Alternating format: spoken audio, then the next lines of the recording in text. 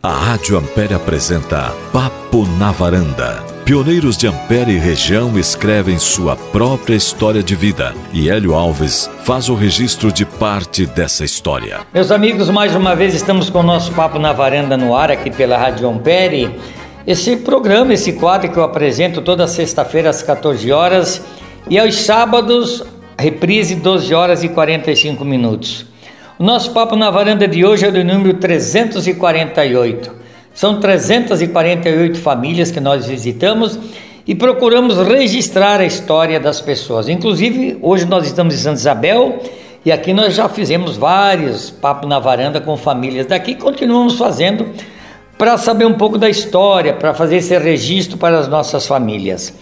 Gravamos numa tarde de segunda-feira, 10 de junho de 2024 extraindo para o ar nesta sexta-feira, dia 21 de junho, e nesse sábado, dia 22, e que tem o apoio do Jornal de Beltrão, que você pode ter ele em sua casa de terça a sábado, com todas as informações da nossa região. Leia e assine ou procure na internet as notícias da nossa região do Jornal de Beltrão. E também tem o apoio do meu amigo Iselcio Alige, que faz um presente de uma foto de 20 por 30 para os nossos entrevistados, no qual nós agradecemos. Aqui no podcast, na gravação, está conosco a Ana, Ana Vitória, e nos estúdios está o Marcelo Menin, que evidentemente faz a produção do programa. Bem, há muito tempo está na minha agenda, ele nem sabia, mas há muito tempo as pessoas já me pediam: olha, você tem que fazer um registro lá do nosso presidente do Sindicato de Santa Isabel. Eu disse: nós vamos fazer na hora, vou convidar ele para nós registrar um pouco da sua história. Então nós estamos aqui no Sindicato Rural de Santa Isabel do Oeste, não é? Depois nós vamos falar da fundação do sindicato com o presidente, seu Antônio Polidoro, meu amigo desde 1981, 82, quando cheguei na, na Rádio Ampere, né? E ele vai dizer também quantos anos ele está como presidente aqui do sindicato. E ao nosso lado também está a sua esposa, dona Domênica Polidoro, o seu Antônio nasceu no dia 10 de 12 de 44, portanto, esse jovem aqui já vai para 80 anos. E a dona Domênica Polidoro nasceu no dia 3 de maio de 48, 76 anos. 57 anos de casados, tiveram cinco filhos: o Dionísio, o Eloir, o Itacir, a Luzia e a Irene. Todos moram aqui em Santa Isabel do Oeste. Já tem 13 netos e cinco bisnetos essa família maravilhosa aqui. Moraram muito tempo no interior, aqui de Santa Isabel, e a gente começa perguntando então com esse, com esse papo na varanda para o seu Antônio. Onde o senhor nasceu, seu Antônio? Santa Catarina, município da Joaçaba. É, com, viemos, vim com cinco anos de Santa Catarina e viemos morar em Pato Branco. Pato Branco. Como é que era o nome dos seus pais? Anselmo Polidoro e Lúcia Polidoro. Polidoro, eles estavam sempre por ali. Seus pais, o senhor tem notícia assim que seus avós, bisavós moraram por ali, sabe? Polidoro é italiano, o que que é? Me conte um pouquinho. É italiano. italiano.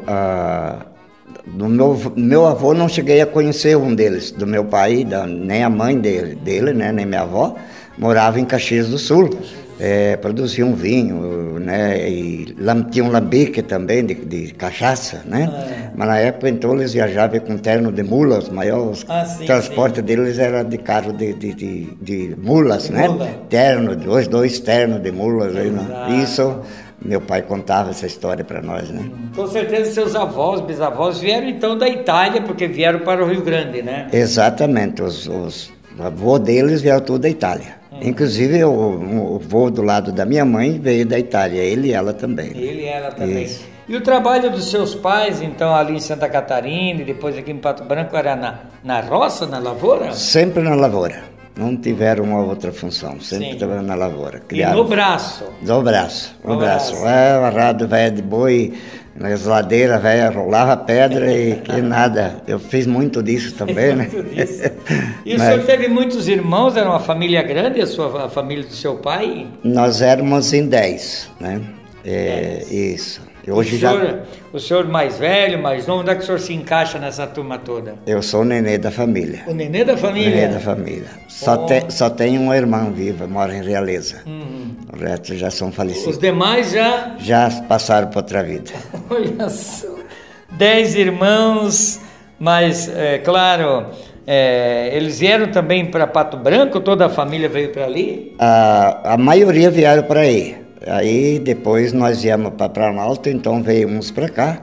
Uns vieram para Santa Isabel, acabaram voltando para Pato Branco, né? Uhum. Mas todos lá de Santa Catarina não ficou nenhum irmão nosso, veio tudo para cá. E vocês moraram muito tempo em Pato Branco, seu Antônio? Moramos 12 anos. 12 anos na cidade ou no, interior, no, claro, você já falou da agricultura? No interior, na Costa Chupim. Na Costa Onde era terreno Mato Branco, ah. que de Pinhal os velhos não queriam, nós podíamos ter comprado um terreno dentro da cidade lá, que hoje é cidade, Pato Branco, quase no centro, Exato. na época, por 15 mil. Aí na, não, meu pai não quis, comprou lá, ter ladeira, 15 arqueiros por 16 mil.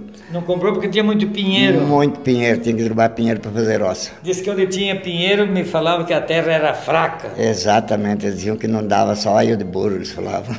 Isso aí, olha que trabalho. Bom, e com certeza era tudo mato, né? Tudo mato, tudo mato. Foi na foice, no é, machado? É, exatamente. No, na época, assim, 8 ou 10 anos, produziu valendo. Depois, já quando foi porado, já começou as terras a lavar bastante, né? Muito Exato, dobrado, né? Exatamente. Então não se ocupava a terra, deixava a capoeira para outro ano, e, né? É. Se... O meu pai falava que deixa a terra descansar. É, exatamente. É? Hoje nós não deixamos descansar, criamos 4, 5 produção no ano, né? No ano, exatamente. E era com boi, era tudo no braço? Tudo no braço, tudo no braço. Foice, o... machado e depois ah. arado de boi, caroça de boi, e era assim. Era assim. É. E o senhor Antônio chegou para a escola, senhor Antônio? Olha, fui para a escola, mas aprendi muito pouco. Por quê? Só foi para comer merenda ou achava a professora bonita? a gente sabe que tinha que eh, trabalhar na roça, na roça, lendo, né? Aí quando não era no, no inverno, então a aula era parte da tarde. E lá da nossa terra que nós olhávamos, era um subidão danado, enxergava os alunos lá na escola, porque nós tínhamos que chegar em casa, se aprontar, se lavar, já se lavava tudo mal daí sem almoço para ir para aula. E então a gente aprendeu muito pouco, um pouco cabeçudo, né? Exato. Eu aprendi um pouco depois, que, que já, já tinha 20 anos para assim que eu comecei a aprender um pouco mais. Bom, o meu pai também, né? Inclusive me tirou da escola aqui na Série da Luz, aqui no Salto do Lontra, porque eles queriam mais que a gente ficasse trabalhando na roça, né? Exatamente. Não, lá na época da colheita nós não ia para aula né? É, principalmente no corte de trigo, nós cortava e, e, era tudo a muque, né? Cortado, empiado, quando não se piava na roça tinha um galpão, botava no galpão. Vocês amarravam com aquela embira que a gente chamava? É, com as folhas de varana. Exato. É, e quando não, com o próprio trigo, você plantava um trigo mais que dava uma variedade mais alta, e se arrancava aquele trigo verde ainda e fazia o atio para. Ou se não, o próprio trigo cortado se fazia os feixes, porque quando ia para o galpão, os feixes tinham que ser mais pequenos, né? Para poder empiar bem dentro do galpão. Olha, e são histórias que devem ser contadas. Daí ficou toda a família ali, todo mundo trabalhando ali? Todos, a, a, enquanto eram solteiros, tudo meio junto. Depois que casaram, cada um se dividiu, né, da Sim. parte deles. E por que que daí resolveram vir morar em Planalto? Teve meu irmão mais velho, veio morar em Planalto. E aí, no fim, trouxe meu pai para cá, né, no Lajado Mirim, município Planalto.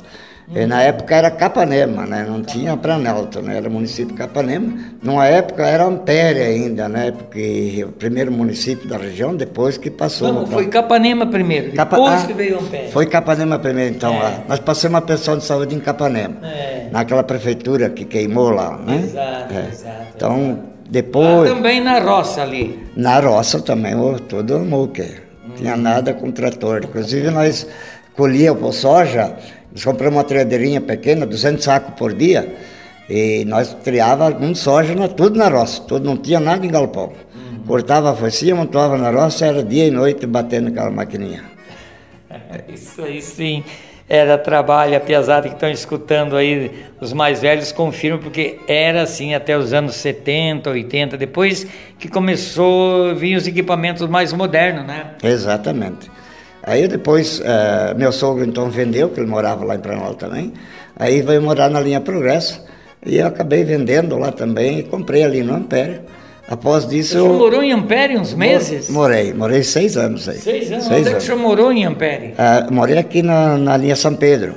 Ah. Mas aqui quase dentro da cidade aí, né? Sim, sim. Fazia divisa com o Sarandi ali, que é a cidade para de cá, é Santa Isabel, né? Sim. E depois mudei para o Progresso, comprei lá do meu sogro mesmo. Progresso é a linha Progresso Santa Isabel. Linha Progresso Santa Isabel. E o senhor conheceu a dona Domênica onde?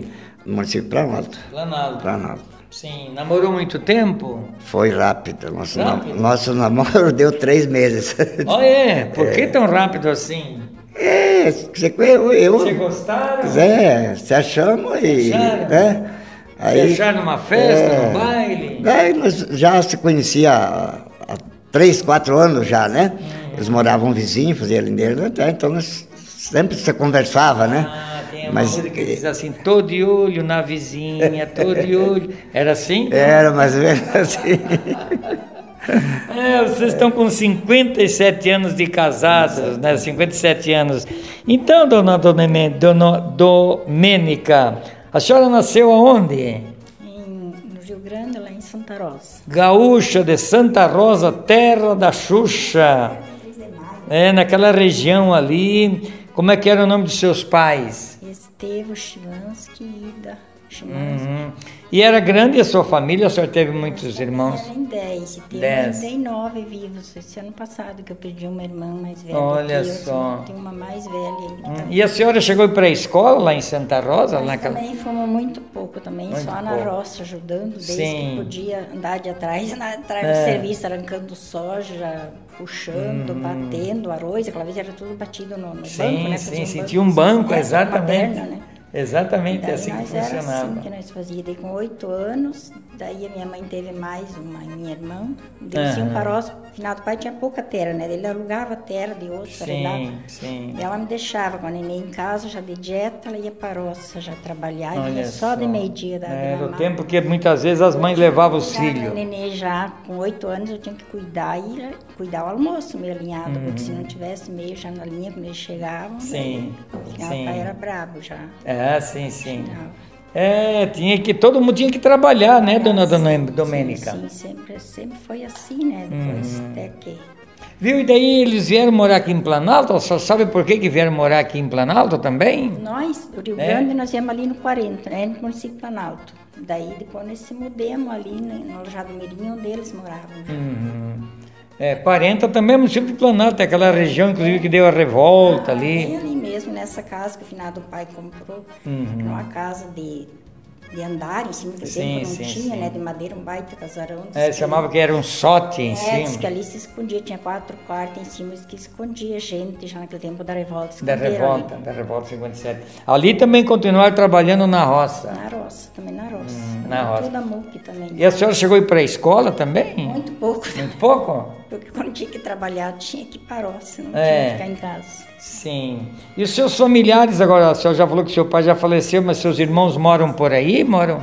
Tem só uma que está em Campo Bom, lá perto de Porto Alegre, lá perto onde essas enchentes, a mais velha. E uma que está na Foz. Uhum. E uma, essa que faleceu, estava ali em Capitão. Capitão das Marques. Os outros são tudo por aí em roda. Bom, e a gente estava conversando então, que foi um namoro meio curto, de três meses, que ele já andava de olho na vizinha e tal. Aí a senhora casou. 57 anos de. É, pior é isso. não contou que. Sim, pode contar então. Ele tinha outra namorada. Ah. e daí ele me levou eu para casa, ele tinha deixado aquela, né? Me levou eu ah, para casa, nós tá, tinha começado a namorar. Voltou lá, era uma festa, tempo, aquele tempo lá fazia festa dois dias, né? De festa. Exatamente. Exatamente. Ah, e daí ele voltou para casa, ficou de olho no outro lá, no final do pai viu, do final do pai veio para casa e disse vou pegar ele agora, tu, vocês vão casar, fazer o quê? Não, não tinha nada um com o outro, né? É. Daí trataram o casamento e casei. Olha só que maravilha. Cas... que a gente tivesse compromisso, mas não tinha nada, né? É, nada, sim, só sim, porque sim. naquele tempo era...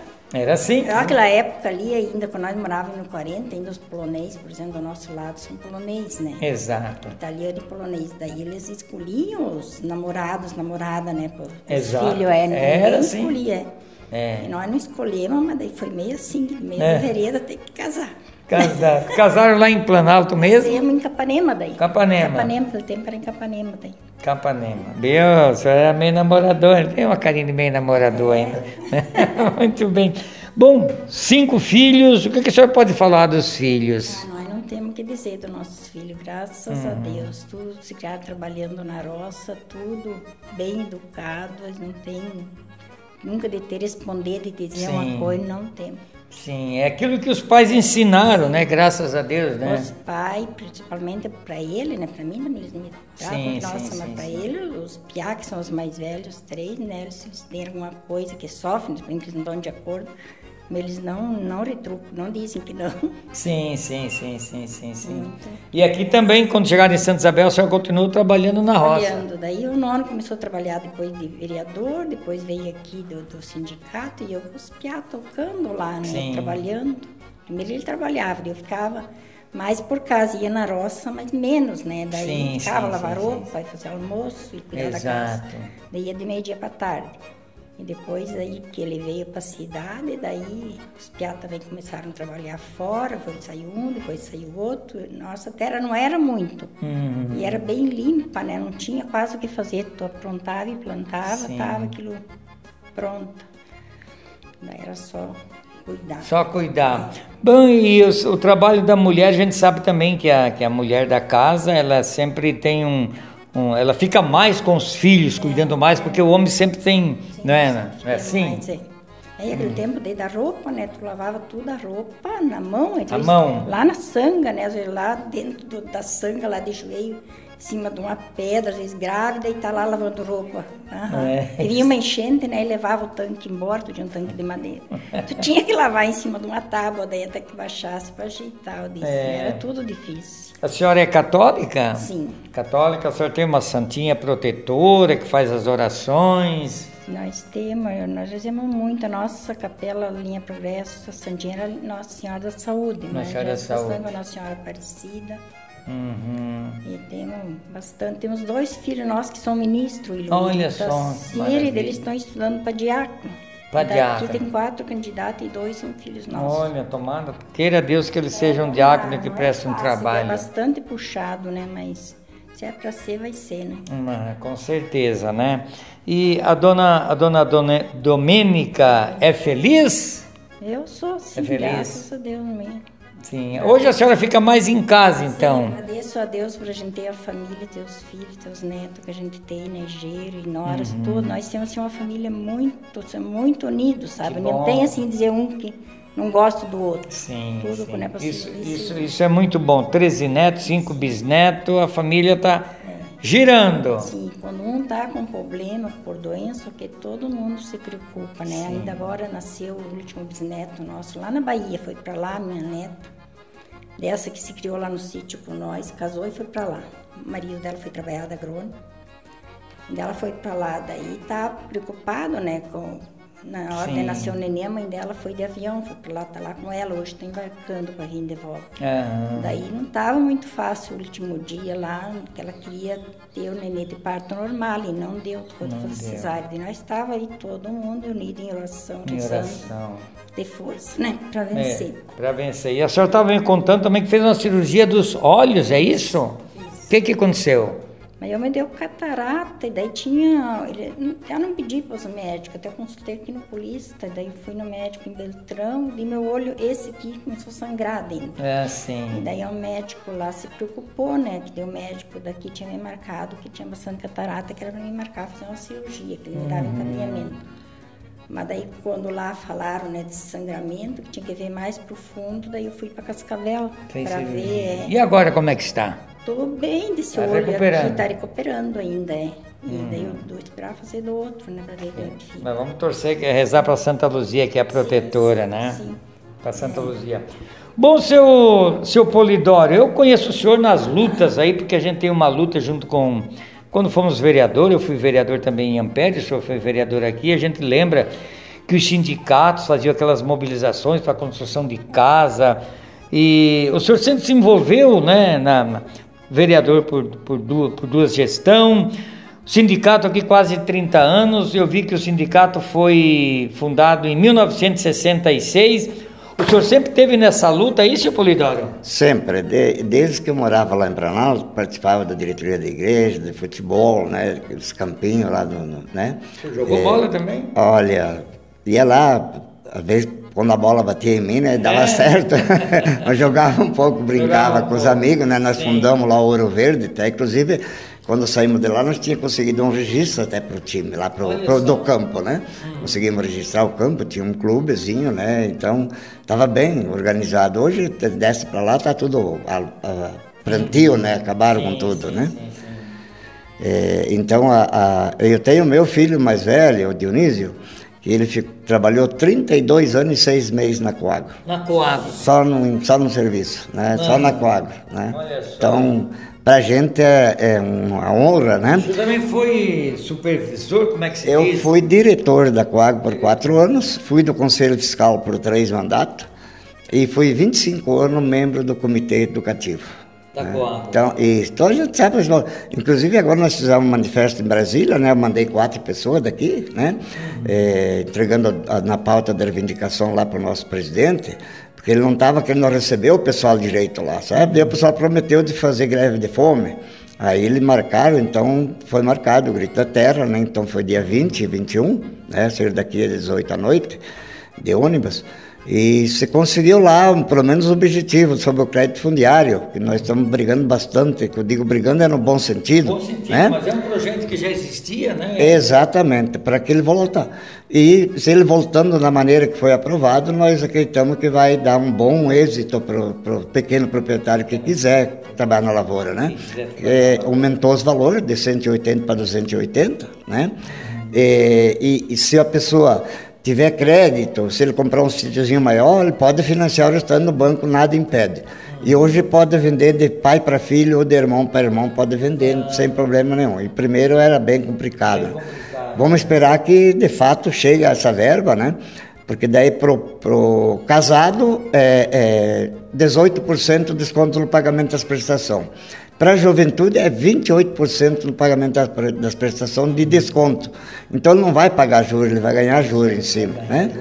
Então, se isso de fato estão dizendo que vai ter recurso, nós aqui temos encaminhado aqui umas 30 pessoas já, junto com o da Ampere, né? Que quem está credenciado mesmo é o Ampere, mas aqui o OSNI também faz o mesmo trabalho conjunto, né? É, vocês fazem um trabalho com o sindicato, todo meio em conjunto, é com a FETRAF, é isso, né? Não, a nossa é FETAEP. FETAEP é de vocês, né? Tem é. FETRAF, tem isso. a FETAEP. E vocês fazem com a assessoária, que é todo um trabalho, né? Eu participei muitos anos aí dentro da FETRAP, né? Do pessoal da região. Uhum. E inclusive com a assessoária. Mas quando a gente viu um tempo aí, ficou um pouco complicado, porque eles queriam sempre formação de gênero, gênero, e, e as reivindicações para o pessoal ficavam lá sempre para trás. Então a gente desligou e conseguimos 18 sindicatos, né? É, da, da, hoje voltou novamente uma conjuntura. Acreditamos que o trabalho vai ser um conjunto todo, né? Sim, sim. Mesmo sendo a FETAEP ou a FETRAP, mas no menos o objetivo de que, né? E as lutas aqui, inclusive se a Ana puder mostrar esses quadros, eu estou vendo um quadro com Afonso Levi, se a Ana puder, porque nós estamos fazendo um podcast, se tu puder passar a câmera nesses quadros que tem aqui. É uma história que tem aqui, alguns até já meio desbotados, né? É aquela, essa, é. essa desbotada aí é a primeira vez que veio o Padre Vitor com a Nossa Senhora da Aparecida aqui em São Isabel. Então ela já está desbotada, Olha né? Olha só! Agora nós temos a histórica lá na frente, lá nós temos tudo o quadro. É. Inclusive tem umas fotos lá que eu, é, nós fomos assaltados com uma Brasília em 2006, né? Fomos assaltados na estrada. Na estrada? Me conta como é que foi fomos isso? assaltados. É, em Araguari nós paramos fazer um lanche que eu até não queria que parasse lá, mas daí o pessoal, vamos, vamos, vamos ver banheiro e tal. E logo que nós saímos de Araguari, é, fomos, é, os caras cercaram nós. Que ano uma, foi? Em 2006. 2006. Isso. O motorista não quis parar, eles meteram o cara na frente e deram um tiro com uma 12. E a, no paralama furou, fez um buraco no paralama do ônibus. Eu tenho ali, depois vou mostrar para o senhor aí as fotos, tá tudo aí. E aí, o primeiro que, que se acordou fui eu, que estava acordado, não estava dormindo. E quando eu vi o estouro, digo, estourou um pneu dianteiro, vai um assalto. Eu tirei 500 pilas que tinha no bolso e botei dentro da meia do, do sapato, eu tinha tirado o sapato. Uhum.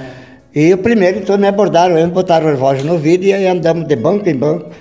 E pedindo para o pessoal, se não dava 20 mil, eles iam me matar lá dentro do ônibus e iriam botar fogo no ônibus. Botavam tudo no porta-malha e botavam fogo no ônibus. E não, não, tinha 20 mil em tudo, né? Exato. Mas a gente foi conversando, na hora me deu até um, um, medo, depois fui conversando com o bandido, prego pelo, pelo nervo do pescoço, né, o revólver no vidro, e dizendo para ele, né? E aí eu rezei uma oração de Santo Antônio, que lá é muito forte, ele me soltou, fiquei de pé lá atrás do ônibus.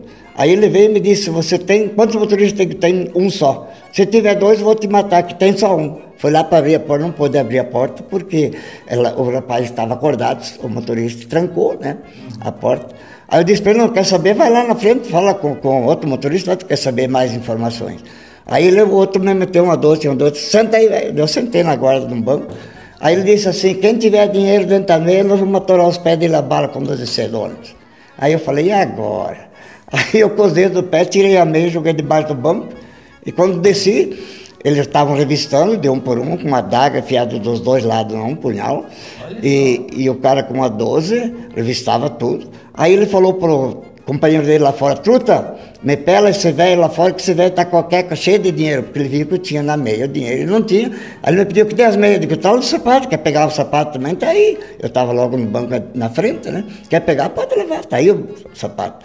Aí quando eu decidi onde, eu peguei e fui aproximando da cinta, ele não, não, eu não tenho dinheiro, não sou deputado, porque na época o deputado botava um dinheiro na cueca. Sim, sim. Eu não sou deputado para ter dinheiro na cueca. Daí ele me empurrou com a espingarda e botou tudo nós no porta-malas. Eu cheguei já não tinha, estava só um para trás de mim, né? Porque eu fiquei lá atrás do ônibus. É, então fui o, o, o, penúltimo, o último que veio atrás de mim, quebrou três fios de costela com a espingarda, né? Com a 12. Fincou-lhe a 12, três pegaram, quebrou três fios de costela, o rapaz deu um murro que nem, né? E, e aí... Que hora era, que hora era da noite? É, três horas da noite que nós... Três da madrugada? Da madrugada que fomos para o mato, levaram nós para o mato. Ah, Andamos seis quilômetros dentro do mato. Roscando ônibus por tudo e o cara me pediu para mim, sabe, velho, andar que tem manhã? Eu digo, mas quem que não tá vendo tio dentro do mato? E tratava de tio, né? Porque com todo o respeito e, e a maldade que estavam fazendo, nós tínhamos que dizer, né? Graças a Deus saímos bem, né? Só chegamos lá em Brasília. Na verdade, a marcha nós Deixaram não. Deixaram o ônibus lá no mato e. Não, não veio. Aí, a, a, porque aí o assalto que aconteceu, nós, eu acredito que foi da própria polícia, né? De, de lá, porque quando nós chegamos nesse posto, tinha dois policiais. E quando ele veio fazer a vistoria às sete horas da manhã, eu olhava para ele e baixava a cabeça. Daí eu falei para os companheiros, ó, cidadão aí que abordou nós. Pode.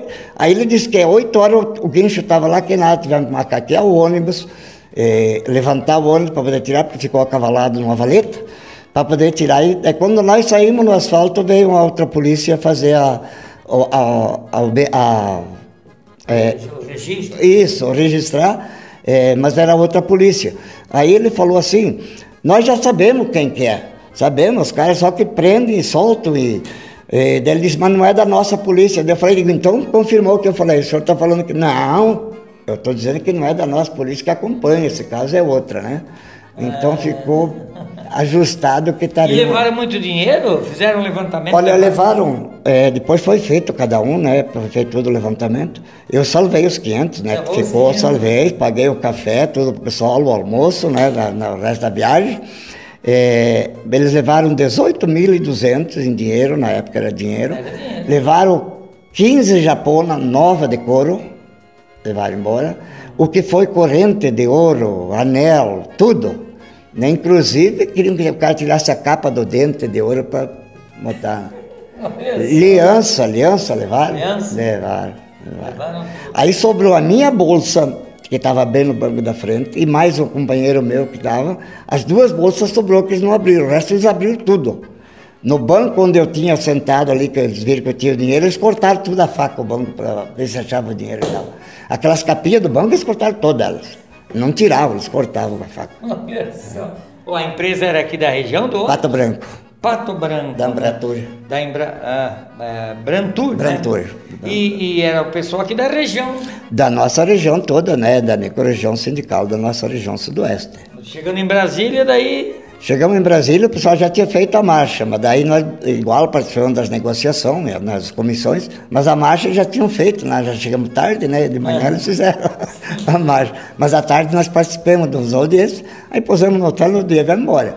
Aonde foi que nós conseguimos reverter a, a, a reforma da Previdência, que já tinha passado é, para 60 anos para a mulher, 65 para o homem e para meio salário mínimo. E o pessoal não, não respeita isso. Hoje acho que o sindicato não faz nada, o sindicato não. Sempre é, tem falado disso. É, aí. sindicato, para que pagar sindicato? Se não fosse nós naquele movimento, já teria mudado. Assim como na reforma né, da Previdência, agora que foi feita no tempo do, do, do, do nosso ex-presidente aí. Exato nós conseguimos, através de baixo assinado e documentação, segurar, deixar a agricultura familiar fora da reforma da Previdência. Exato. Isso é uma conquista das lideranças sindicais. Das lideranças sindicais, inclusive casas, né? Eu sempre tenho dito que o sindicato presta um grande serviço para a população, né? Para aqueles que precisam de informações, né, seu Polidoro? Exatamente, nós pegamos aqui, nós fomos bem, eh, na, na, verdade, aqui do nosso município, porque tivemos a Câmara de Vereador do nosso lado, a Associação Comercial também, o prefeito, que era o, o Piamoncini, eh, pegou o nosso documento, levou para Brasília, para oito deputados, da, da, que ele tinha a aliação com eles, e para dois senadores, não entregou para o terceiro porque ele não gostava dele, então não levou. Mas não foi eu que pedi para ele levá-lo, pegou o nosso documento e levou. Que nós tivemos, é, inclusive em Brasília, fazendo um manifesto para deixar não incluir na reforma da Previdência o assegurado especial. Inclusive, o auxílio para as mães, para a natalidade, para as mães do interior não existia não existia nada disso, né, senhor Polidoro? Exatamente. Inclusive, às vezes até é criticado, né, porque tinha lá no pedido também auxílio reclusão. E o pessoal não entende a coisa, porque a família não tem nada a ver se o cara fez uma má ação e a família às vezes está passando fome.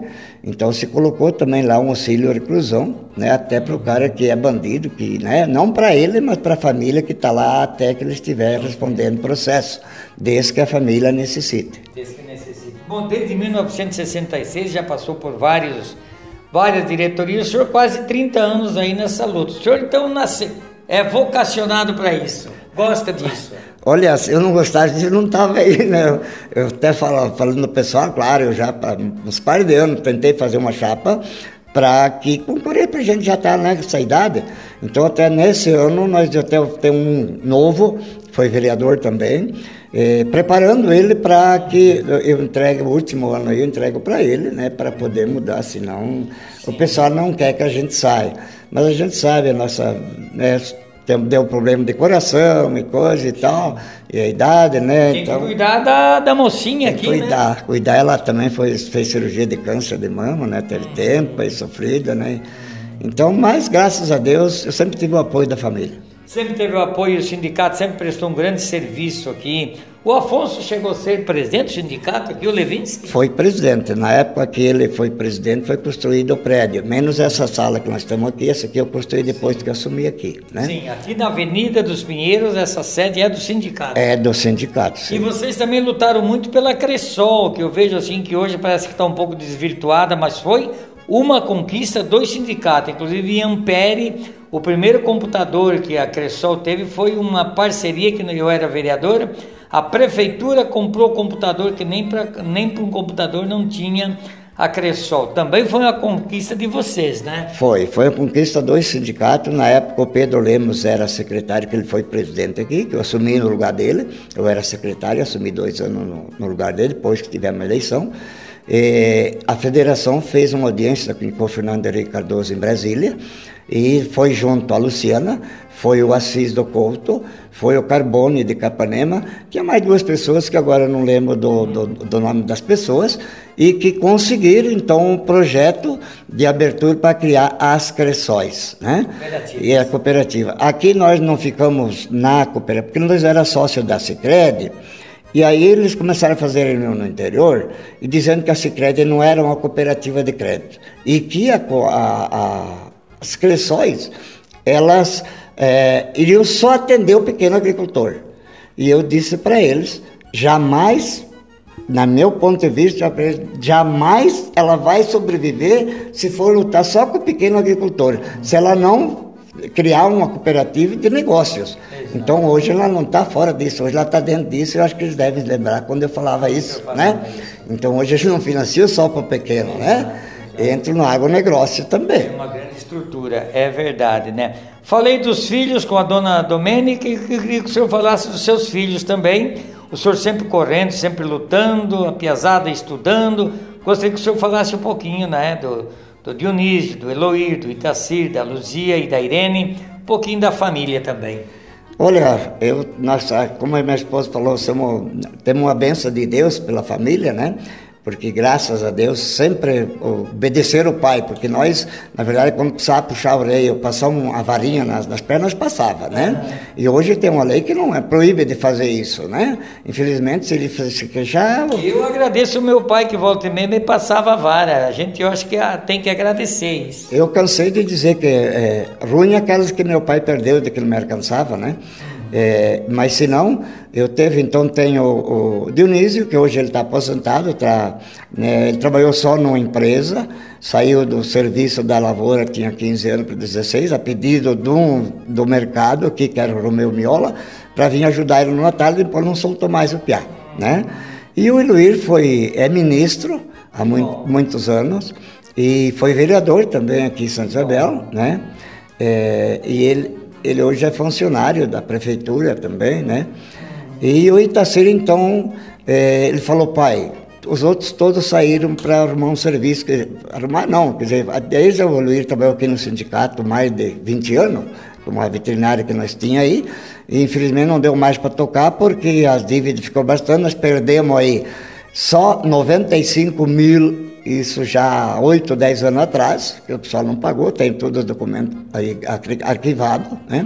Então nós fechamos, antes de falir, nós fechamos, mas graças a Deus o sindicato está tranquilo, sem problema nenhum, estamos bem, estamos com os pés no chão. É, foram dois ou três anos de crise, aí nós não vamos fechar as portas de jeito nenhum, né? É, então, e o Itacir, aí eu falei para ele, tu fica é, em casa cuidando dos pais, o que tiver aqui nós vamos passar para ti. Nós ajudamos todos os outros que pudemos, né? E aí eu já fiz o levantar em vida, né? Então já fizemos é, uso é, fruto com ele, mas já com procuração de todos os outros filhos, né? E já arquivado junto. A hora que nós falecemos, só recolhe mais 2% sobre a morte e está registrado é dele o terreno, né? Então ele ficou na nossa, mas nós sempre vamos lá. É, matar a saudade. Matar a saudade. Inclusive, sofremos um acidente dia 1 de, setembro, dia 1 de setembro de 2021. A mulher ia indo lá plantar umas, umas verduras lá e tal. E na estrada ela estava passando um áudio que nós estava indo lá e aconteceu um acidente na estrada. Então, na hora que aconteceu, de 15 minutos, estavam os dois filhos lá. O cara que era vereador aqui foi para cantar o hino nacional na praça. E daí deu áudio, ele atendeu, viu a batida, viu a batida, né? E daí a Luzia também foi estudar para irmão. E a mais nova, então, está é, casada também, né? Graças a Deus, tranquilo, né? Ele tem um, tem um maquinário e fazer silagem e tal, faz silagem para fora, para toda a região aí, né? Tem três máquinas grandes, tinha seis, agora tem três, né? E tão bem, graças a Deus. É mais velha que está assim, né? Mas, mas também está bem, graças a Deus. Tá, é professora, né? Então, todos eles estão num caminho, né? E daí tem os netos e bisnetos também, que a vida vai, vai seguindo, né, seu Polidoro? Verdade. E, a, e aí a gente às vezes né, se depara com neto que não, a gente não gostaria que tivesse na situação que está. Mas hoje está aí o pistão, né? A, a, as coisas estão na rua ali. Tecnologia, é, né? É, exato. Essa, tem que cuidar muito com as más companhias, tudo isso, né? Não, e eu, eu até esses dias assistindo, isso é uma coisa verdadeira, não estou mentindo. É, um médico, ele, é, ele faz é, comentário para a Globo, dizendo que a droga é bom, tem que orientar a criança a usar a droga porque sente satisfação. Se não sentisse, não, não ia usar a droga. Então isso a gente lamenta, lamenta muito. Lamenta, é lamentável. Né? Lamenta muito, né? Exato. Então a coisa não tá para brincar. É. E aí temos, nós temos netos também que. Difícil né? do nosso tempo, é, difícil, tá, né? Difícil, difícil, difícil. difícil. É, dona Domênica, muito obrigado para a senhora vir aqui, vamos fazer uma foto depois. Eu agradeço a senhora contar um pouquinho só da sua história, mas que com certeza é orgulho para a família. Tanto que contar, mas eu não sou muito de, de falar. É ele. a gente já é mais quieto em casa. Mais quieto, cuidando em casa. Seu Polidoro, olha, faz tempo, faz mais de um ano que o senhor está na minha. Porque como é que funciona o nosso papo na varanda? As pessoas vão me falando e eu vou anotando lá né, o nome das pessoas, e depois aos poucos a gente vai conversando, convidando, olha, você quer contar um pouco da sua história, da sua vida, e a gente fica feliz o senhor fazer um, um registro, né, inclusive por essa prestação de serviço aqui para a população de Santa Isabel, o município tem aí 14, 15 mil é, habitantes, acredito que temos aí em torno de 4, 5 mil ainda no interior, de prestar esse serviço, senhor Polidoro. Olha, a satisfação da gente, né? Há muito tempo eu escutava teu programa, né? Sim. né? Sempre gostei da tua posição, bom, sempre gostei. Não é porque você está presente aqui não, porque a, a tua esposa está aí, eu sempre falava, né? E falo Exato. ainda hoje, né? É, então, para nós é uma honra, né? É, poder também levar um, um, algo para o pessoal porque na nossa época era um, uma educação e hoje para mim a educação é, ela é da na família. E aí o ensino, sim, educação leitoral, escrito é da, da escola, mas a maior escola é da família. Muito bem, escolhemos a música O Colono, né? Já que o senhor é presidente do sindicato, diz que vai deixar é, final nós, do mandato. Nós tinha a, a música nossa do programa é do, do Roberto, como é que é? Canhoto e Robertinho? Leopoldo Robertinho. Isso. É, é, tem várias músicas, meu é, irmão da roça e outros, é, né? É, o, ele eu não lembro agora sim. E essa música O Colono, já que eu também tenho, graças a Deus, bastante audiência, porque Ampere, Ampere encosta aqui na cidade de Santa Isabel, então tem pessoas que é, ótimo. Em, é, moram aqui, a gente tem muita gente que, que aqui nos, nos, nos quilômetros, por exemplo, dos 50, metade é Santa Isabel, a metade é Ampere, muita gente que meu. Vamos mandar para esse povo todo então nessa qualidade. Tranquilo. O homem que foi assaltado nós fomos assaltados em Araguari, lá em Minas Gerais, né? E nós indo a Brasília. Da né? Brasília Isso. procurar procurar procurar os direitos direito. do nosso, assegurar aquilo que porque nós já fizemos algum do manifesto, né? Uhum. É, inclusive quando foi que nós ah, conseguimos colocar na lei, porque na Constituição dizia lá que não tinha nenhum, podia ser nenhum salário é, mínimo, a metade do salário tinha que ser o salário cheio para o agricultor. Então nós colocamos lá na Constituição, foi uma assinatura nossa, feita através do presidente do sindicato que estava aqui, eu era vereador. Fizemos o documento e foi enviado. É, e é onde você sabe disso, né? Que se quem tinha 250 mil assinaturas, ele tornava-se uma lei para ia para reforma então que foi em 2000, é, 1988, né? A nova Constituição. Então, depois, para poder regularizar isso aí, nós tivemos algum manifesto. Em 91, é, nós fizemos sofrido lá, posamos duas noites embaixo da lona lá, nos torão seco. Né? E conseguimos, graças, graças a, Deus, a né? Deus, né? Graças a Deus. Então, meus amigos, nós chegamos ao final do Papo na Varanda. Um pouquinho só, porque esse homem tem muita história. Dá para nós gravar uns quatro papos na varanda pela história. Mas ele fez um resumo aí da história da vida dele, do seu Antônio, da dona Domênica, né? 57 anos de casado, ele quase 30 anos né, que está à frente do sindicato, mora aqui em Santa Isabel do Oeste há mais de 50 anos. Um pouquinho dessa história. Para encerrar, então, deixamos, agradeço mais uma vez ao Jornal de Beltrão e ao Zé Cialija pela participação no programa, pela, pelo apoio, a Ana Vitória, que faz o nosso podcast também, o Marcelinho, a Rádio Ampere, a todos nós muito obrigado e deixamos então a música O Colono com Teixeirinho. Um abraço e até o próximo final de semana, se Deus quiser.